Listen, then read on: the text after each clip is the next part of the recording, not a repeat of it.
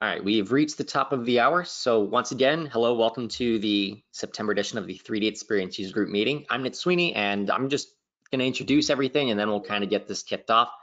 Uh, this month, we've got some presentations uh, specifically talking about collaboration. We're going to be diving into uh, how we can use some of our groups on the 3D Experience platform, what that really does for us so that we can we can track our project milestones and so that we can actually do things in a very collaborative way. So a couple of housekeeping items. Uh, all of the attendees, you are all in listen only mode. Uh, but if you have any questions at all, uh, please feel free to use the chat, use the QA, uh, just shoot that over and then we'll try to answer those as we go. But I'm gonna pass it over to Keith and let him take it away.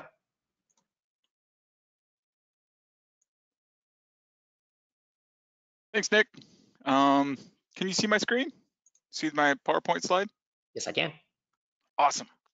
All right we're going to assume everything's good. Um, so for my section of this, uh, we're going to walk through uh, user groups, uh, how to how to create them, how to set them up, uh, what they're good for, uh, the kind of the good, the bad, and the ugly. As we go through this, though, uh, there's a couple of tangents that that we may. I know Nick. I'm so I'm the guy here that likes to talk a lot, so I'm going to try and keep those tangents to a minimum. Um, but of course, um, there are a couple of things that I'm going to add in here as we walk through the the admin tool, specifically when we start adding roles and and whatnot to these user groups. Um, overall, uh, user groups are really simple to use. Um, over the past uh, probably month or so, I've been going back with some of our internal tenants and cleaning them up, creating user groups, um, and even going back to some of our customers and saying, hey, we want to we want to switch the way the user group is working a little bit. Um, user groups are now part of our standard implementation process. Uh, for for both our team and our enterprise implementations, we create user groups so that uh, as we as we onboard uh, customers, uh, we can quickly allow them to invite users to their platform and get that initial setup kind of pumped out right away um, and to do it in a in a quick process that allow uh, that allows the customer to not really think about it a whole lot. Um, it, it's a really simple process that we'll kind of walk through uh, as we create these user groups. So again, we're gonna we're gonna walk through a couple of things, and this is kind of my uh, my list of topics for the day. Um, uh, the the use cases and and and creating assigning roles, so licensing uh, and user setup, uh, assigning collaborative spaces, so this is permissions uh, related, um, some tips and tricks uh, for the user groups and adding users to the user groups. Uh, and we're gonna touch a little bit on the change process. I don't plan on going super deep into the change process, um, but if there are if there are some questions about that process at the very end and we have time, we can by all means dive into it. Uh, so when we're looking at some of the use cases, uh, this is kind of the, the list that I came up to, came up with for our user groups. Um, simplifying user creation um, and standardizing those settings. So that's a big one here is that we, we really want to be able to take uh, the settings of those user groups and push them through um, to automatically uh, add to that role assignment, the permissions on the 3D spaces, uh, the dashboards and the tasks that happen uh, as a part of that. So what we're gonna do is first off look at where is user groups. So user groups are actually part of the collaborative business innovator license. So this is your core license that, that comes in on the platform. This is the very basis. So pretty much everybody has the ability to, to see and create user groups. Um, now, that being said, depending on the permissions associated with that specific group, um, they may not even see that group if it's a private group. So we'll, we'll talk a little bit about that going forward. Uh, one thing to note real quick is that uh, the user groups, uh, when they're set up, uh, if you have multiple tenants, not that many people have multiple tenants, but if you do have multiple tenants, they're on a per tenant basis. So they are specific to the tenant that you're running with, uh, which means, and I'm gonna use my pointer even though Nick is gonna yell at me because you never use your pointer, right? Um, that down arrow here, you need to make sure that when you're gonna fire up your user group, um, you want to make sure that you're set to the correct tenant moving forward.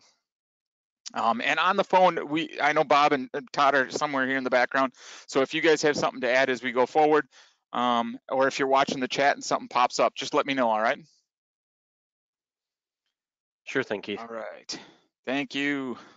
So when we go into the user groups, this is the the screen you're going to see, and I'm going to kind of roll through these kind of quick because uh, I have my tenant up in the background. We're going to create a couple user groups uh, live for you uh, and kind of walk through the process a little bit better. But uh, if you go ahead and click on that icon, this is about what you're going to get. Um, and you can see my user groups are either by by my groups or all user groups. Again, you, my groups are the groups that I have ownership of. Um, and then all groups are everything that I can see inside the platform. Now you can also filter these and, and pull them down uh, depending on what you're looking for. Um, but uh, for the most part, uh, there's not that many groups in here that that makes it super uh, super confusing. So my groups are going to be pretty pretty simple and straightforward. Um, by default, when I create that group, I'm the main owner, um, which means that I can assign managers to it. And I'll show you where to do that in just a second. Um, but from this dialog box, we can create new user groups. Um, we can also import groups from a file, and you can see the the icons right above the the CATI AE group there. Um, if you pick on them, there's a new group one, and there's an import group from file. Um, the import group from file is is somewhat important because I can quickly duplicate groups from there. Um, and uh, in the next screen, you're going to see that uh, once groups are created, I have the ability to export them from a file. So we can quickly grab, you know, an export from one group, tweak the number of members that are in it, tweak what we see in it, um, and basically import that into a new group if we want a separate group uh, to be created.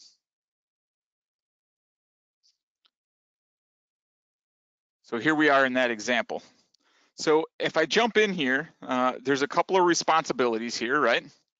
Um, and you're going to notice that in this case or in this scenario, I've added uh, Bob and Randy. Sorry, Todd.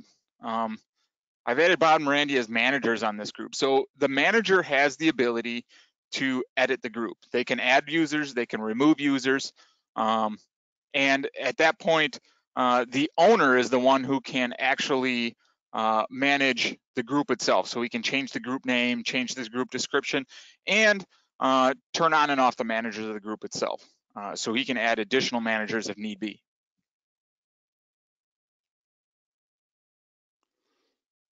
There's my manager list. So once the group is created, if you go ahead and click on the members tab at the top of that box, uh, what you'll end up seeing is just a list of all the members on your platform.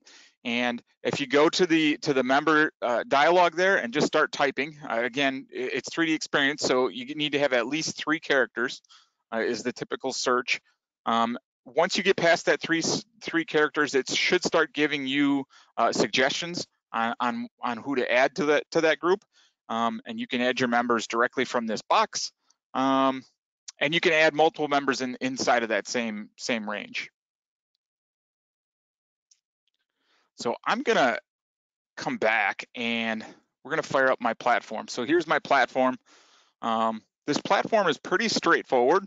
Uh, it is almost out of the box. Uh, there's only a few little tweaks in it. I've added a couple members to it, uh, and I'm gonna quickly go to the members uh, because I wanna show you uh, one of the scenarios that we're gonna run into here. And that is, you're gonna see that from my membership on this platform, uh, that there's several members that are still pending. So pending means they've been invited to the platform, but have yet to log in. Um, so if they haven't logged in yet, the passport account, the passport account has not yet been uh, been added to that user, uh, and therefore uh, they're kind of a, uh, a, half user on the platform. They're actually added by their email address uh, it, from the invite members box. Uh, in this case, you're also going to notice that I'm adding users, and you can see the little key icon next to them in the platform management here. Um, and this is telling me that they're actually bringing their license from another tenant. So I'm using that, that bring your own license uh, option, which is actually really cool in 3D Experience. If you're sharing platforms or sharing uh, data uh, from a collaborative standpoint with another company or another division, this is a great way to do it without having to buy multiple licenses uh, across both platforms for one person. Um, so Bob, in this case, Bob's going to use his his license from another platform. Um, but again, um, I guess my point here is to understand which ones are pending. Bob and Randy are both pending. Uh, Braden is also pending. And if you look at Todd, he's already logged in. Matt has already logged in, so they get their their full member status uh, without the pending log. So the next thing I'm going to do is I'm going to flip back to my my standard CAD user, and I'm going to bring up my user group. Now I've cheated and I've created a, a dashboard tab just for my user groups. Uh, so we'll go ahead and load up my my users tab on that. And what you're going to see is there's no groups yet. So this one is is a bare platform. I'm just going to tell the system that I want to create a new one. And we're going to call this uh, Go AE team.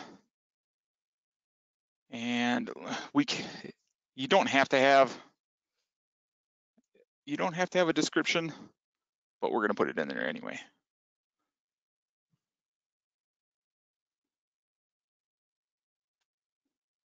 All right, so when I go ahead and select on that, you're gonna see I'm gonna get my, my option to add members.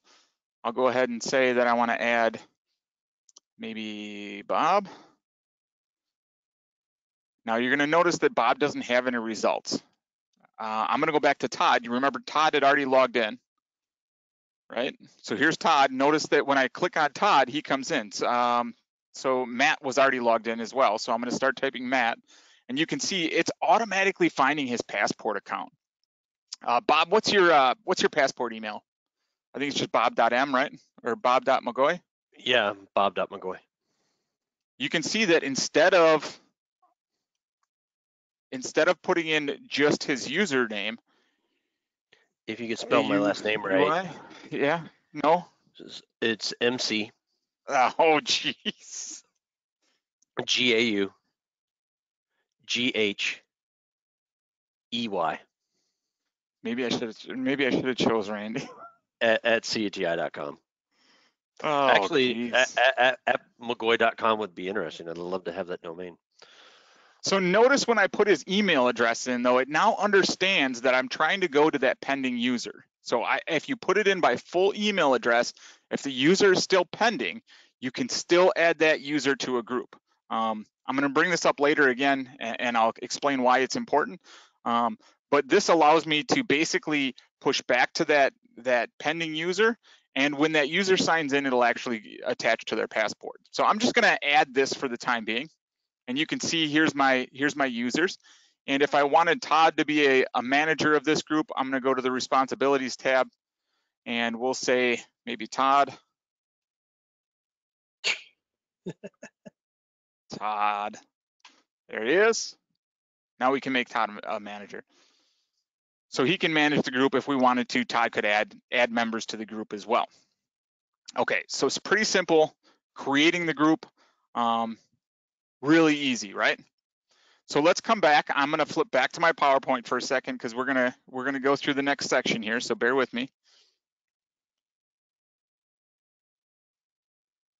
So assigning groups to roles. So in this case, I've, I've fired up another um, another role. So this is actually, you know, I'll show you this in a second, coming from uh, the members tab of the platform admin. Okay, so these are the individual roles that are available from the platform admin.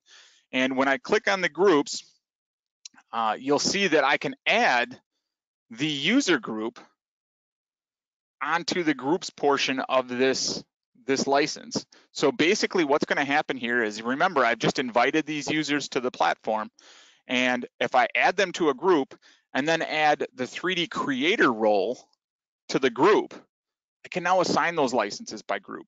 So now I don't have to go back to each one of those users or go through this this and, and search out each user. As long as they're in that as long as they're in that uh, that user group, they'll be assigned their their license.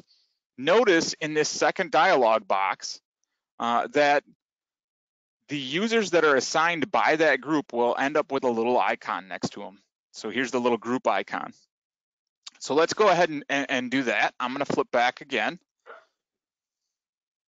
And we're gonna go to the platform management, right? So Keith, while you're doing this, I go just ahead. logged So Keith, while you're doing this, I just logged in and accepted my invite. Yep, you're no longer pending. You're good. I am no longer pending, and I currently have IFW and CSV. Yep. Because I and that's because I assigned these your IFW and CSV beforehand. Yep. Uh, because I wanted those licenses to be shared from you. I didn't want the system to assign them, so I put those in there ahead of time. Understood. Um, so I'm going to go to 3D Creator here, and I'm just going to click on the little I for 3D Creator. And inside of the the groups, you'll see all of these these users that are available. But inside of the groups, uh, I'm going to come back here, and I'm just going to go to the Go AE team. We'll add those three members. We'll say OK to that.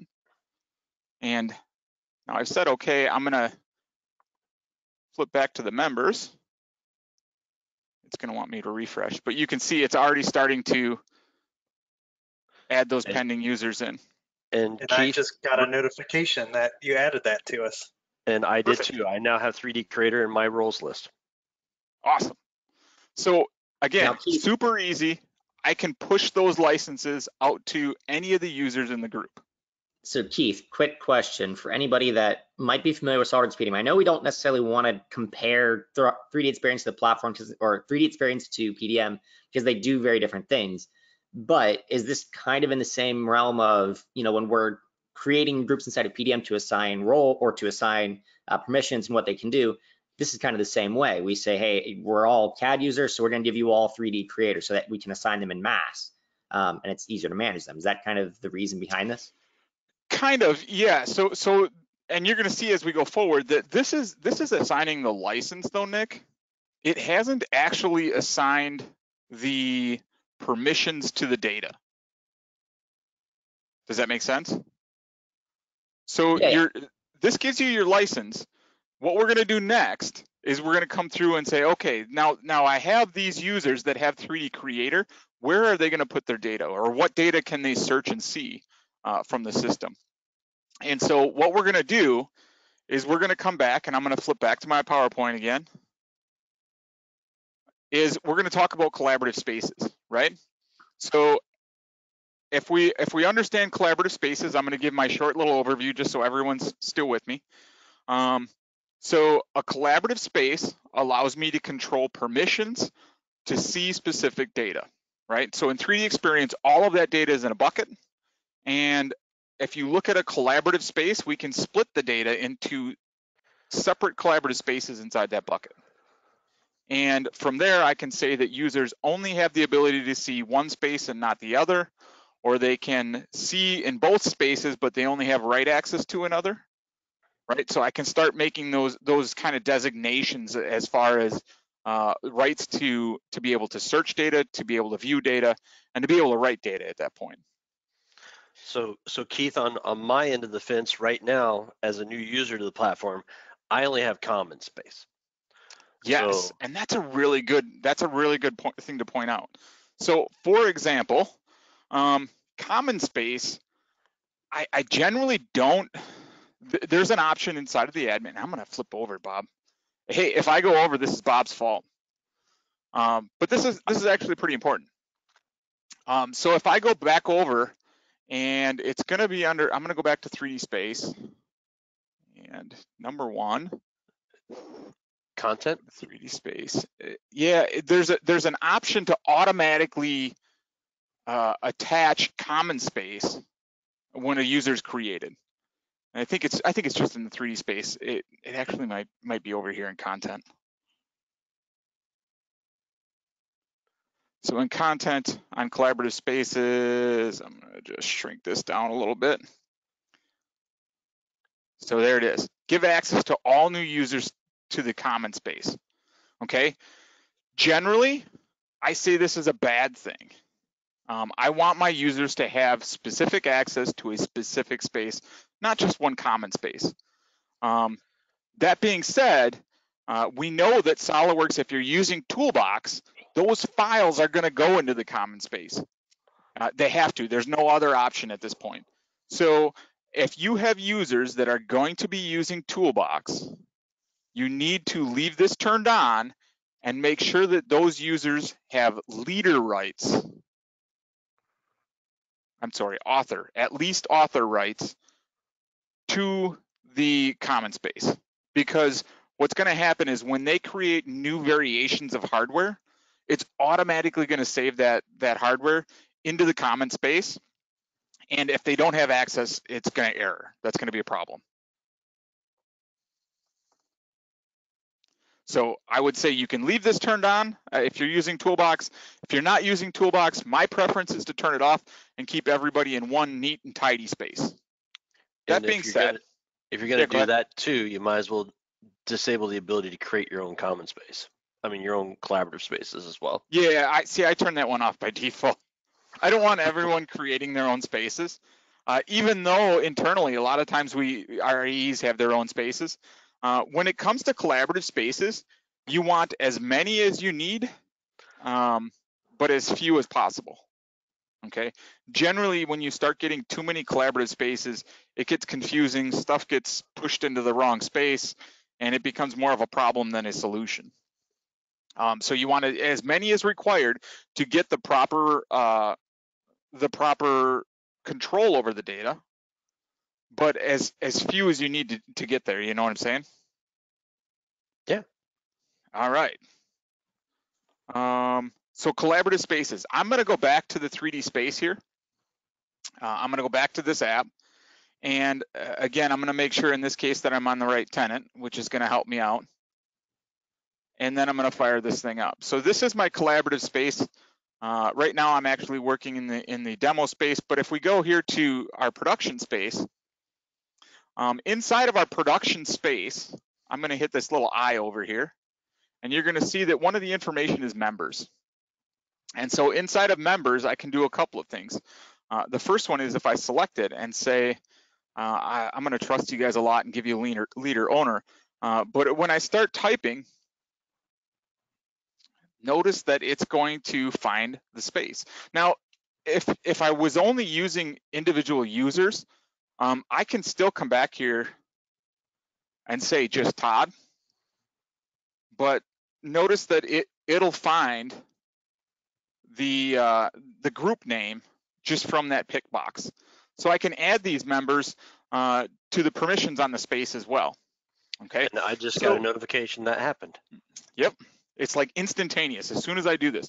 What's cool is if I've turned off the common space previously and I I add this to my my members or to my to my user group, um, basically when I have a new customer or a new customer, a new user come on, all I really need to do is send them an email for the invite, right? We know we can do that, and I'm just going to flip back because I, I like to to show it and not not point in directions, right?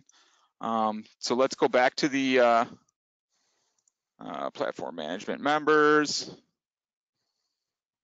And so we, we, we invite users from here, right, by email. So if I invite my user from here, give it the email, um, and add them to my group, my user group, technically they get their invitation, they get their licensing, and they're going to get their permissions to the collaborative space. Technically, that's all they need to work with inside the platform. So in, in two steps, I can add I can add those users really easily, and that's why we're starting to do this as part of our our you know our mid grade implementation, the teams in the enterprise, is that it's so easy for me to set it up and, and make it uh, you know really easy for the admin users to add users as they as they grow. That being said, uh, there's something else that we typically do, and, that is, so I have this other dashboard over here, my CAD user dashboard. Um, one of the other things that I can do is I can go into my settings here, and I can grab my CAD user and share, and I can share this CAD user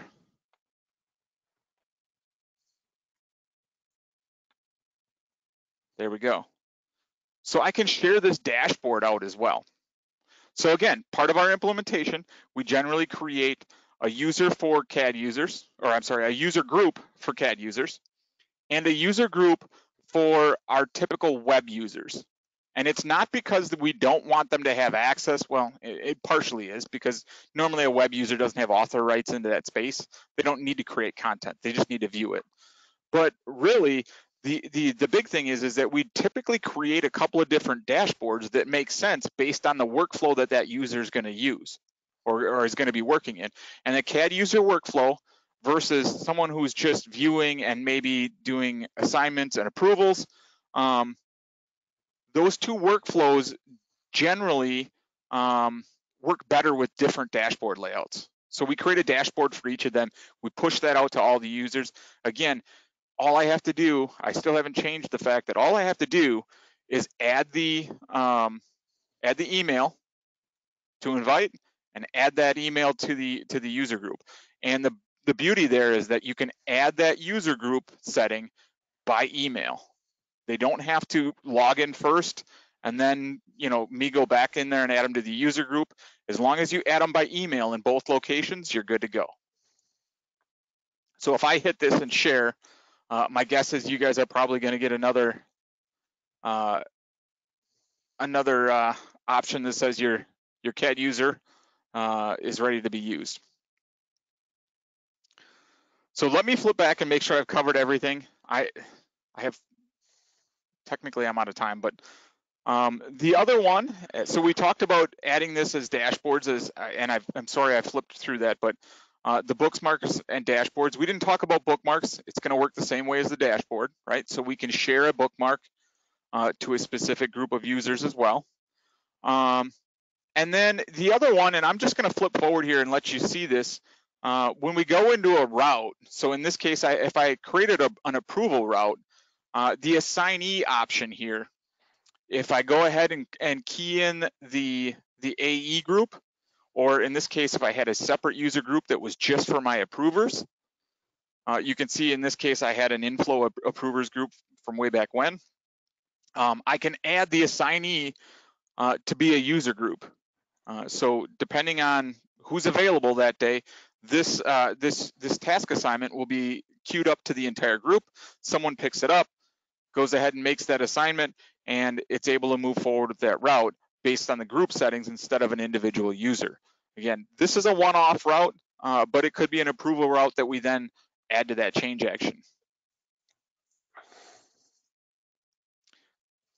Awesome. I am I am under time, Nick. But I, if I can steal the last three minutes, are there any questions? None that I'm seeing as of yet. But yeah, it, Awesome. if anybody does have any questions, please enter them in the chat or the QA section, uh, whichever one you have access to. Awesome. Excellent. So Schaefer, if you have any interjections during our portion, feel free to as well. Absolutely. Um, I'm going to give, I'm going to change presenter to you or Todd. Whose whose machine is Uh, it coming off of? Me. Put that on Bob. Thank Okay. you. Make me do it. All right, should be coming over to you. Let's see. Can you guys see the correct screen here? Yep, Project planner, yes, I coming can. through. Awesome. Okay. So let's see here. Just make sure I've got the right tools for the right job going on here. So, I like how my name is a lot bigger than Yeah, your name, and- Bob. and, and that's Thank you. intended. Thank you. You, you're doing more of the heavy lifting today, buddy. I'm, I'm, I'm, I'm just here for moral support. Oh, okay. Great. I think it's funny that he's still got top billing though. Yeah, yeah. It, it just kind of, it just kind of part worked our out with, the- with, with, yeah. with the design, you know? Yeah. I mean, it just, it just looks better if the longer name's up top. So, Yeah. So whatever, we might as well just kick this off. Um, sounds good. We're gonna take a look, um, just high level of this project planner role. Um, this is cloud-based project management tool, and just like you may be familiar with other project planning tools, you know, it has a graphical Gantt chart interface. Um, it's more for team-based projects, and it lets you do things that you would expect, right? You can define milestones, you can assign tasks to people. Uh, there's an uh, a planning engine that runs in here that automatically will optimize activities that you've set up. So when you need to move a date for a due date, the uh, the tasks that you've assigned that have Slack built to them into them, they may compress. Um, you may have to expand some things out, give a little more space for some of your tasks. We're going to see this um, as we go through a, an actual demo of the software um, once we introduce this all to you. Um, it's more for small groups, uh, and it gets you out of like a top-down project management approach. It's more for the whole team. Everyone on the team is actually responsible uh, for the prog progress and success of these projects. Um, it is available with the standard collaborative business innovator role, but you get more functionality if you also have collaborative industry innovator, and that would allow you to actually attach data that's being managed in the cloud to particular tasks. So it can keep everyone connected and it helps you with your resource planning. Uh, everyone gets uh, an accelerated view of the of the projects that they're working on based on the information that you're building into these tasks. So if you're not familiar with seeing collaborative tasks, we're also going to show how those are created here. Um, the, the Gantt chart view within the app is going to show you a project timeline. So we'll see that. We'll see building a milestone. We'll see attaching dependencies. And then we'll see how those kind of move around when we change the due dates of certain milestones. Uh, and then we'll go back and we'll review this summary dashboard, which is going to show you the status of not only how many tasks you have, but what are the what's the project uh, progress of those tasks, if any have been completed, uh, or what's the percentage progress of certain tasks that we've uh, set up. So Todd and I are going to wear a couple different hats in this scenario. Me, I'm Bob. I'm I'm going to be wearing the hat of the the the project planner itself. I'm I'm going to be setting up the project, assigning some tasks to people, and watch watching that teardown happen. So, and then Todd on the other side of the fence is going to be wearing a couple of hats here. One is a designer and one is a simulation person, and and walk through those aspects of how you interact with those plans and tasks. So, the first thing that we start off with is say marketing comes back to us and says we've got some information about the current design. Um, people are saying that it's a little too heavy. So from that, we need to start a new project um, to do some weight reduction. So what I do is I go over into my project planning tool and I start a new project for weight reduction. And I put my explanation in what we're gonna do here. And I can just drag and drop any icon on I want there. But once I do that, I can start creating tasks and inviting people. So in this situation, we we like um, first name and your role. It just makes it easier. So um, Todd is going to be the analyst and the designer. I am the project manager. So the first thing we're doing here is we're starting a new task.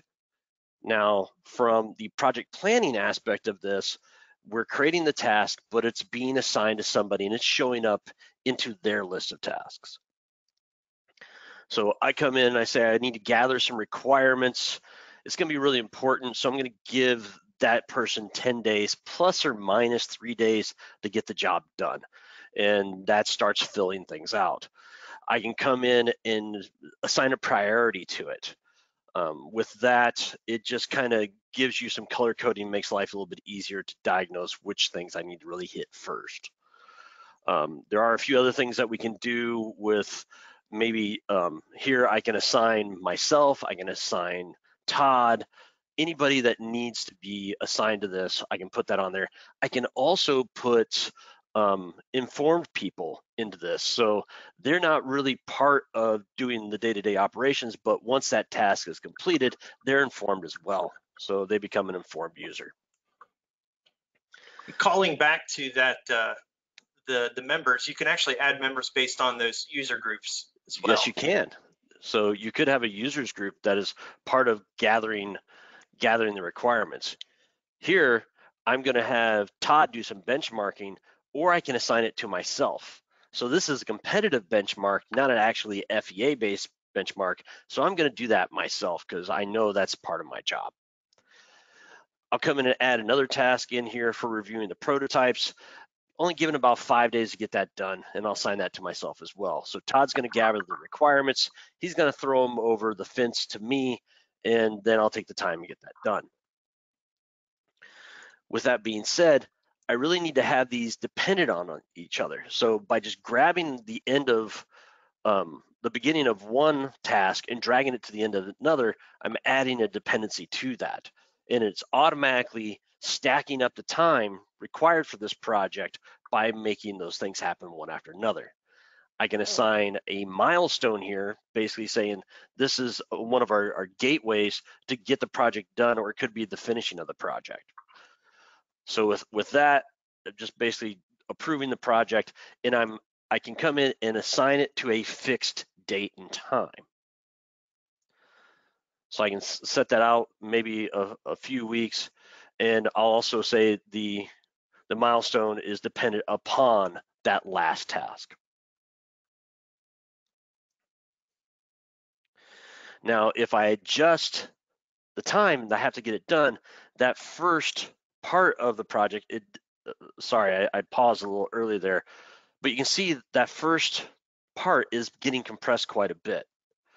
So if I pull that back in even further, it's now compressing the rest of those milestones. You can see a double arrow indicates that there's massively more compression to that particular task compared to a single arrow that is just a small amount of compression.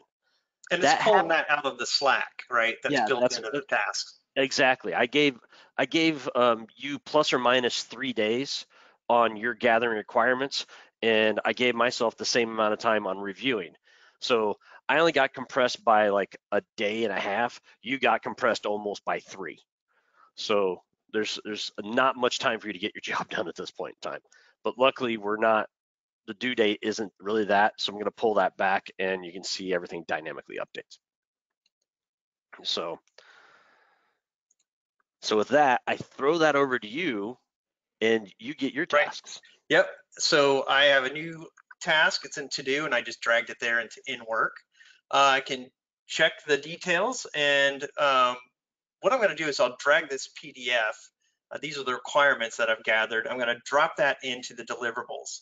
And what happens is that's going to actually upload into the collaborative space um, that's uh, designated for this project. Um, what's nice about this, these tasks, right? The tasks that are created are actual objects and they're saved in the same collaborative space as well.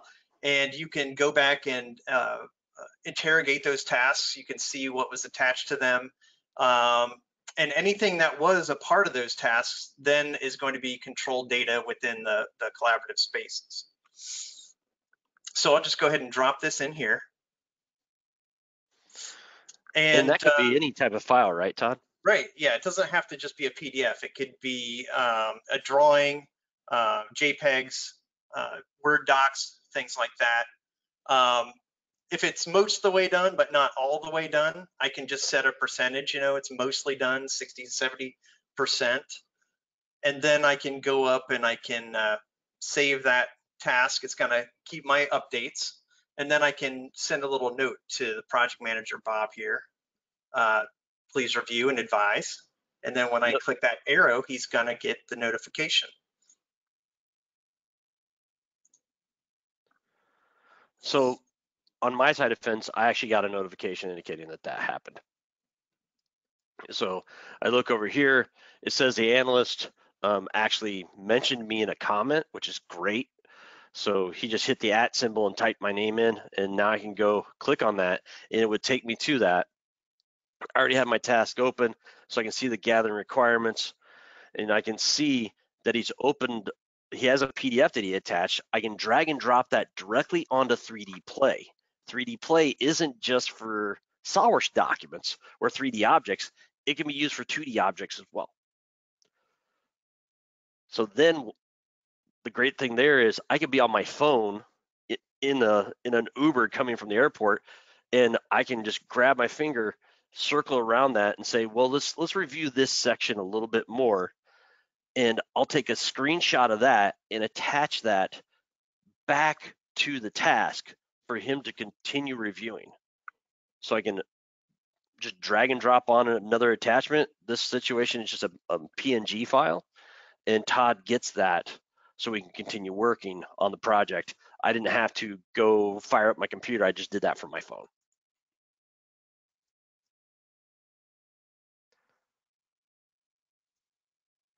So here I can see that, well, Todd made some comments. I'm going to go ahead and tell him that looks fine. Let's go ahead and make some additional changes. Um, we still have some work to do on that, but that's okay.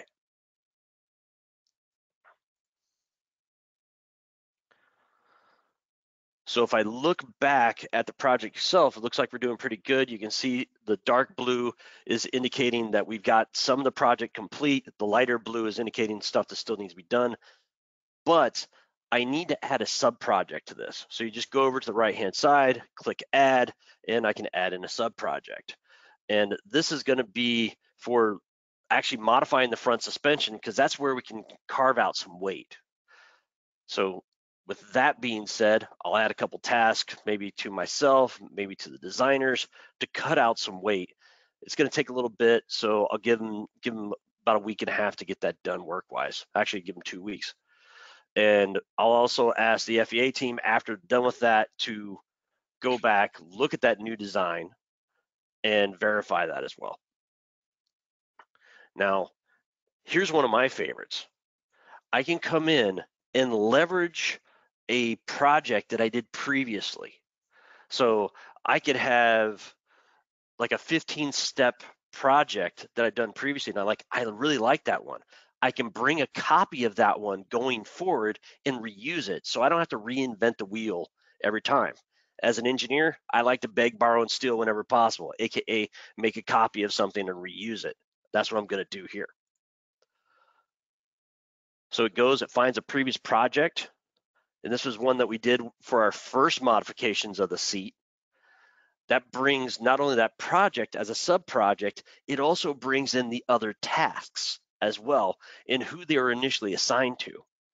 So this is a this isn't the original, this is a copy. So now those tasks have already been assigned to those particular people to redo their previous work in a new way. I can also attach that I can move that wherever I want to, and you can see the time changes, just as I did previously. So that, that spools back up. If I need to, maybe that validation needs to be part of the seat modification. I can drag a task from another project into a completely different project. It still has the dependencies. If I want to remove those, I can. But you can see there that the time on that particular task was fixed. So by dragging into this new project, it says, hey, that task is a fixed amount of time. You made it less dynamic. So it's, it's informing me that I won't get the compression of those tasks if I say it's a fixed date, no plus or minus time on it.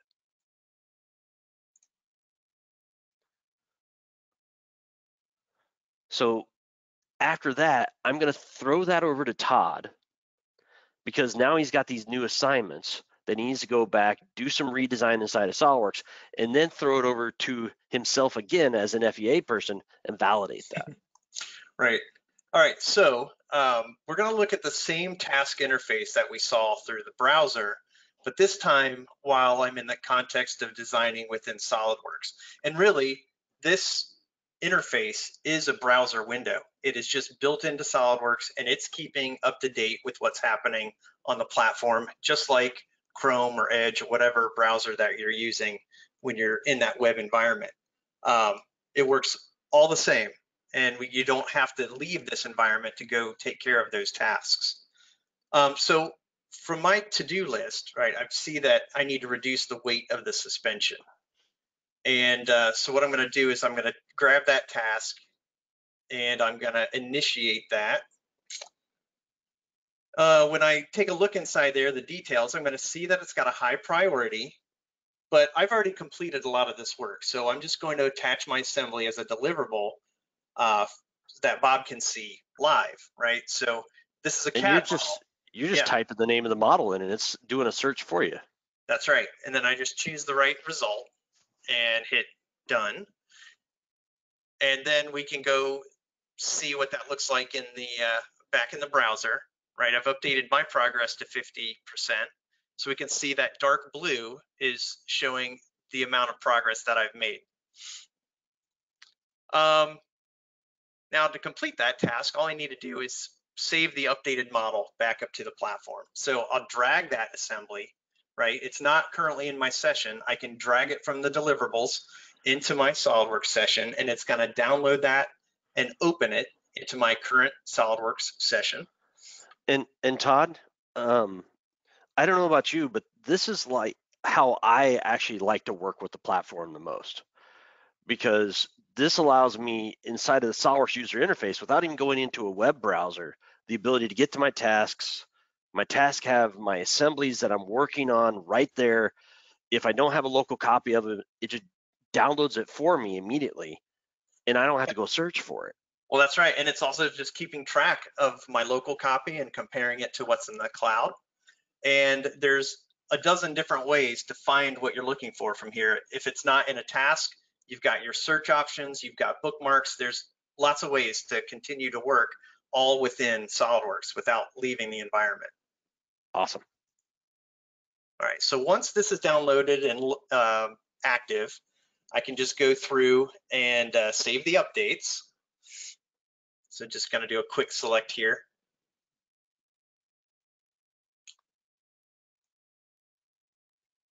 And let's see here. This should uh, select the, the ones that have updated. Sorry about that. That's okay.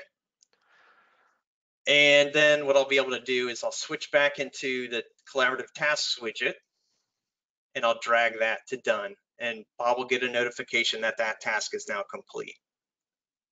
Now, when we switch back into the project planner, we can see uh, that task turns gray and we can get a summary of, you know, the summary dashboard will show us how many tasks are currently uh, in this project uh, what, how many are in the to-do column, how many are in progress, and how many have been completed. So that one task uh, that I just moved to the done column is now complete. So in one user interface, you have an overall summary of everything that's going on with the project. You can immediately go and look at the tasks and how they break down in the project. You can see the, the Gantt chart schedule of that. You can add members to that project, informed users and everything else. And probably one of my favorites, which if, if I got time, uh, we'll have to see. Um, you can actually go back and see content of the project. So any files that have been uploaded to the project, those are also there for the project manager to see at a high level. He doesn't have to go through um, every task to find them, which is also nice. And that just brings us to our summary here. So what Project Planner is bringing us is that graphical, intuitive, team-based approach to plan and execute your projects. Um, the interface is very familiar uh, to SOLIDWORKS users and project users.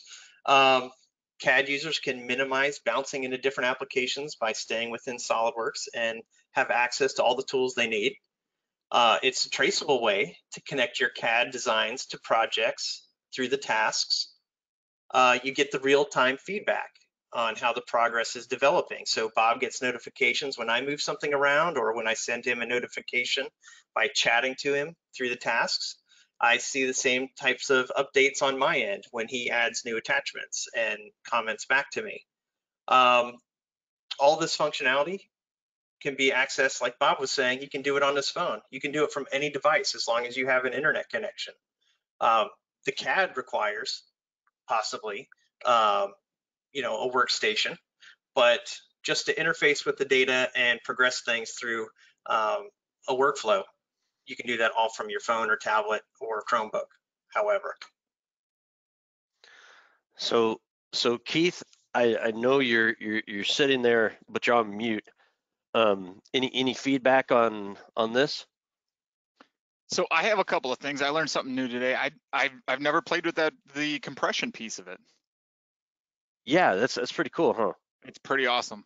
Um, and the only other one that I have is is you know your example here uh, works with a single project, um, but in my case, I, I, deal with you know anywhere to up to a dozen, uh, 18 projects at a time. And when you're in that project, uh, so when you go to collaborative tasks, you can drag or drag and drop the or search for a project and put it in the context and basically narrow your collaborative task to just that project. So if you're working on just one project and you don't want to see all of the other tasks that are going on in other projects, especially if you're the owner of that of That's those right. other projects, um, it's really easy to narrow it down and get kind of that laser focus on what you're trying to work on. Yeah, that's that's really nice. And um, as as a SolidWorks user on the, on the SolidWorks side of things, I can create my own task using the collaborative task right inside the SolidWorks task pane, and I can add that to a project without having to go to the project manager and and say this this actually goes along with that and it builds up into the burn down for the project and I think that, that in that case it, burn, it, it goes to the burn down, but it also kind of goes to uh, from a project management standpoint. When I try, if I were to copy that and create another project from it, um, I now can can come back and say, hey, we had to add this task the last time. Is this something that I need to to leave in there? Is it something that I need to add to the new project? Um, so that you can kind of over time uh, Right. let your let your projects grow the way they they kind of would naturally. you kind of kind of organically build your own project templates Right, right. So if you miss something in the first, uh, you know, revision or the first edition of it, uh, when you copy that, you'll be able to copy that task along with it, and you know the second version will probably account for it.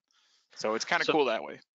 So in in your opinion, there's there's also the the other side of the the fence. There's the the the project manager role that's out there.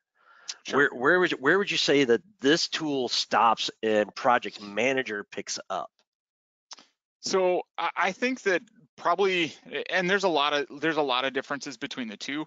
Um, I would say that when when customers are going to project manager, they're probably looking for a couple of different things. The the most common one is they're probably looking to do timesheets. So they Okay. they want to associate engineering time against a task, and have their engineers do timesheets against ag- against specific tasks. Now, project manager works uh, uh, with collaborative tasks just the way you say here. Um, I, I think that the the widget on, on Project Planner is maybe a little bit cleaner, um, but we can still do the Gantt stuff where you you know drag and drop to to to gain those interdependencies. Um, you know, Project Manager has the ability to capture uh, costs. So if you're looking to associate costs with the project, uh, that's another. You know, there there's several areas in which that Project Manager uh, kind of goes a little bit farther. Um, I- I think one of the other ones is that Project Manager can, uh, if you wanted to, uh, can integrate with uh, Microsoft Project. So if you're using Microsoft Project now and you want that sync between the two, but you still want to be able to capture, in my opinion, in both of these products, uh, the beauty of it is the fact that I can attach uh, the CAD CAD models directly to those tasks and drag and drop off of them uh, in order to open it in SolidWorks and make edits and changes. It makes it super simple that you're not trying to pass files back and forth. Even you know even uh, if you were using some type of PDM, um, trying to to push links to to CAD models is painful. Uh, if you just assign a task, that comes up in that task pane in SolidWorks, and you can drag and drop that stuff into the into the active pane. It's awesome. Yeah, because when when Todd typed in the name of the SolidWorks file, he wasn't just attaching a copy of it. He was actually copying a dynamic link to that physical product on the platform. So as that updates, you get the updates in that that collaborative task, which is pretty awesome. Yeah, and Project Planner has come a long ways. I mean, they're constantly adding stuff to it. Like for example, I didn't know that they they they were able to do that uh, that compression thing. I Yeah. mean, that's that's awesome. They're constantly adding to this. Um, you know, some of the uh, things that I think they'll they'll also add in time here is the ability to um, to uh, take a task and add a change action as a deliverable. And in the project manager, if you if you complete the change action, it will automatically roll up the task is completed. So Oh, again, yeah. you start to get that deliverable roll up and you get that real time tracking at the top level of the project that a lot of those managers are looking for. Yeah, I think you can attach a change action today, but Yeah. you it does not execute the completion of said change action yet. So once once we get to that point, that would be amazingly slick. Yep, for sure. So any anything else, buddy? I don't think so. Okay. I mean, if there's Well, something in the questions, does anybody, I, I can't see the chat for whatever reason. I don't see the Q and A either. I, I don't know if there's anything queued up uh, or if anyone mean, has, has thrown anything out there. One of the few chats I saw was "This is awesome" by Keith Schaefer. Well, that was, that was that compression one. I'm like, I, didn't even know that we could do that. Yeah, it's pretty cool. Now I'm going to go play with it. just just make sure that you you give it some plus or minus time. You There got go. you got to give it a plus or minus tolerance. So so that's that's what we got. I think we may have gone over time just a little bit, but um, I think this is all beneficial stuff. Keith, great job on the users group stuff. Yeah, I'm, you guys too. I mean, that's that's that's really cool. I mean, watching it happen real time as I logged into that particular tenant for the first time was was pretty amazing. So, but um, let's see. Anything else before we need to close close it out, gentlemen? I don't think so. If you guys have questions um, or, or you want to see more on any of these topics, be sure to to give us a call, either your sales rep or or the general general line. Um, we're happy to uh, to go over it with you. Excellent. Well, thanks everybody for for coming today. And if you have any questions, like Keith said, don't hesitate to give us a buzz.